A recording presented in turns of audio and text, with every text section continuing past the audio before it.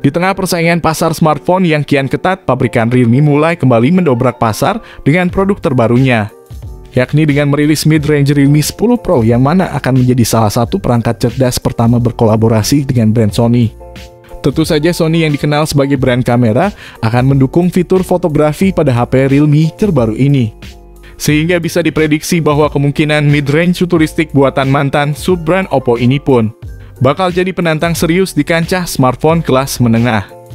Terutama bagi beberapa brand HP Android yang mengunggulkan sisi kamera. Selain soal kamera, satu aspek yang cukup penting pada HP premium ini adalah dukungan layar Super AMOLED seluas 6,43 inci. Serta bekalan chip setara Snapdragon 888 yang sudah terintegrasi dengan sistem teknologi jaringan 5G. Buat teman-teman yang ingin mengenal lebih jauh soal ponsel ini berikut saya paparkan info mengenai spesifikasi dan harga Realme 10 Pro terbaru pada beberapa sesi di video ini. Dalam sebuah wawancara dengan GSM Arena, CEO Realme mengatakan perusahaan juga akan meluncurkan ponsel 5G dengan harga terjangkau. Dia menambahkan bahwa ponsel 5G baru akan menjadi tambahan yang sangat dibutuhkan terutama menjelang peluncuran 5G di Asia. Saat ini penawaran untuk gelombang radio 5G di negara Indonesia sedang berlangsung. Dan peluncuran smartphone Realme 10 Pro akan diperkenalkan sepertinya akhir tahun 2022. Kabar terbaru mengatakan, series Realme 10 Pro sedang dalam tahap pengerjaan dan rencananya akan dirilis pada bulan September atau Oktober sesuai jadwal. Itu artinya smartphone bisa di-launching tanpa ada hambatan pada kuartal ketiga di tahun ini. Mengingat seriesnya aja sudah launching 6 bulan sebelumnya terhitung bulan Februari di Indonesia. Oke mungkin gak usah banyak bacot demi menghargai waktu kalian yang sangat berharga ini. Berikut ini kami berikan informasi terbaru dari Realme 10 Pro. Sebelum masuk ke inti pembahasan kami ingin disclaimer. Video di HP ini baru ilustrasi saja belum real hasil resmi Realme 10 Pro. Sembari menunggu HP ini resmi ke Indonesia, alangkah baiknya kalian lihat spek HP ini. Sektor desain fisik pada bodi dari spesifikasi Realme 10 Pro versi Indonesia adalah bagian awal yang akan saya bahas secara detail dan mendalam. Mengenai sektor desain sendiri ponsel premium terbaru buatan Realme dari lini Realme series ini. Memang dibuat begitu unik dan terbilang sangat berkesan modern. Tampang smartphone justru malah mirip seperti Oppo Reno 8. Mengenai tampilan visualnya Realme 10 Pro sendiri mengusung konsep layar sentuh kapasitif yang menggunakan panel AMOLED display A Matte untuk memaksimalkan penampilan visual secara lebih jernih dibandingkan panel lain. Sementara itu untuk ukuran layarnya sendiri rupanya perangkat premium buatan Realme ini mengusung layar seluas 6,5 inci dengan ketajaman resolusi Full HD serta Dolby Vision. Apalagi layar pada Realme 10 Pro ini juga sudah membawa kualitas HDR10 Plus dengan refresh rate 120 Hz yang menurut kami sangat amat kencang untuk memaksimalkan render grafis secara lebih taktis dan responsif. Ini akan sangat mendukung tampilan gambar atau video dengan tingkat resolusi tinggi. Untuk soal pelindungan layarnya dipastikan bahwa Realme 10 Pro bakal melapisi layar visualnya. Dengan pelindung berupa Corning Gorilla Glass 5 yang sangat handal dalam mencegah terjadinya goresan dari benda tajam. Menginjak pada bagian lain, kini saya akan mengulas sisi hardware dan software dari spesifikasi Realme 10 Pro di mana dalam soal ini Realme akan menggunakan beberapa komponen hardware terbaru dan modern untuk menunjang percepatan sistem. Salah satunya yakni chipset garapan MediaTek yakni Dimensity 8100 dengan keunggulan utamanya, yakni memaksimalkan aktivitas fotografi gaming dan kecerdasan buatan. Jika benar nantinya ponsel dirilis dengan chipset Dimensity 8100, maka pesaingnya si Oren Auto ketar-ketir melihat kemajuan HP Realme.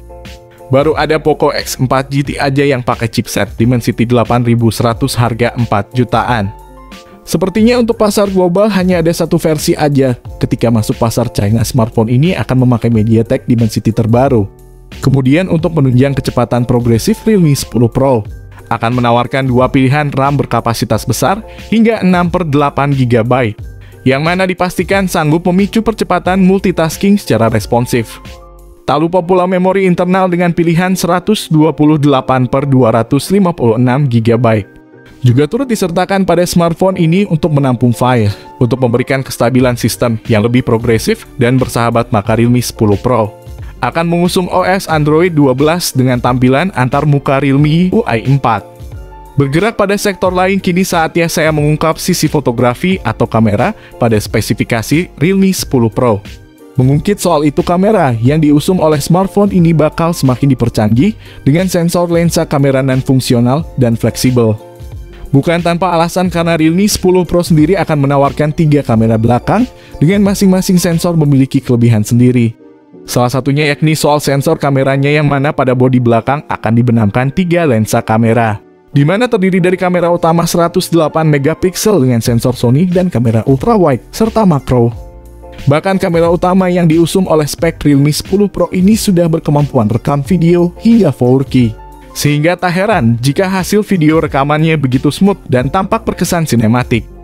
Di samping itu Realme 10 Pro akan menawarkan satu kamera depan 32 megapiksel, yang mana dilengkapi rekaman video 1080 pixel pada 30 fps saja.